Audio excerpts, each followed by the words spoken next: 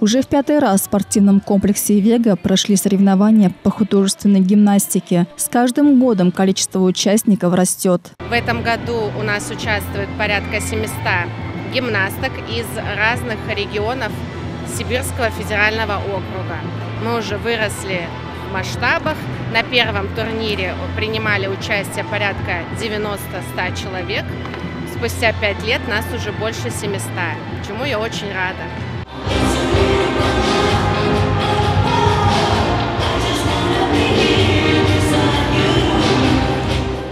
Участницы приехали из Алтайского и Красноярского краев, Новосибирской и Томской областей показать свое мастерство. Им предстояло выполнить групповую и индивидуальную программу. За каждым номером ежедневная работа. Бердские гимнастки на этом турнире выполняли только индивидуальную программу. Мне нравится, я занимаюсь примерно, ну, 7 лет. Я не волнуюсь.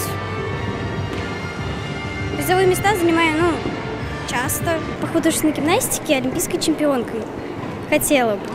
Цель соревнований – популяризация и развитие художественной гимнастики, повышение спортивного уровня участниц, выполнение разрядных нормативов. По итогам соревнований наградили победителей в разных возрастных категориях. Бердские спортсменки выиграли золотую, серебряную и три бронзовые медали.